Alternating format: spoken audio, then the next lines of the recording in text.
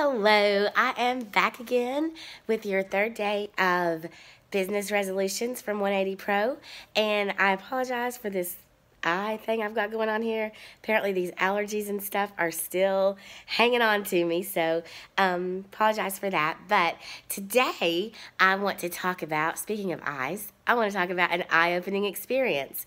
So, um, that's uh, I didn't even plan that, but it worked out that way. So, um, so my challenge to you today for your business resolution uh, for today or sometime this week is to look at your customer's experience. Try to look at it from a completely open mind and a, a, different set of eyes. Because we're so ingrained in what we do every day and, and our processes and how we do them and we tend to think that you know whatever we do that's that's the best process for us or or the best process totally um, and that's not always true.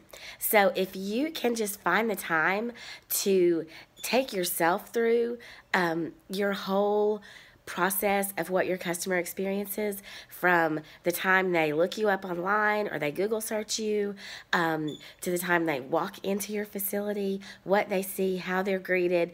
Um, and, you know, think about what's really good to think about when you do an exercise like this is think about a place that you've gone where you've had an amazing experience, where, you know, everything's just been great. Um, and then think about one where it's been terrible um, and try to compare you know like like i said it's hard sometimes to look at your own processes and own business with critical eyes or with fresh eyes but um, it can be really invaluable to you if you do this and um, and try to make some changes if you need to make some changes. Now if you have someone willing um, to come in and go through that process that is uh, completely unbiased and that can give you really good feedback, then that's awesome too. But I feel like it's really good when we do these things ourselves, just because we're you're probably the one that put your whole registration process and customer experience process in place, and you need to be the one to make the needed changes to it. So.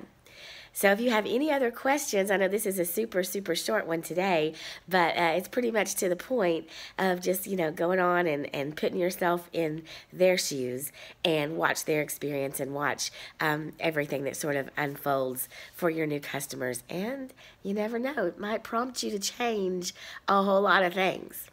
So, anyway, have a really good day today, and I will talk to you guys tomorrow.